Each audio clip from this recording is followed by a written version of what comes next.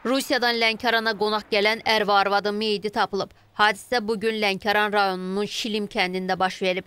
Rusiya vətəndaşları olan 50 yaşlı Qalib Bağırov və həyat yoldaşı 45 yaşlı Nəfisə Bağırovanın yaşadıkları evdə meyitləri tapılıb.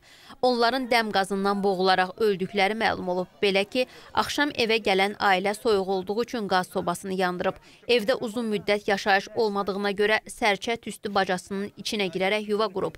Nəticədə dəm qazı evin içinə dolub və bədbəxt hadisə baş verib. Meyitlər müayinə üçün məhkəmə tibbi ekspertiza və patoloji anatomiya birliyinin Lənkəran rayon şöbəsinə təhvil verilib.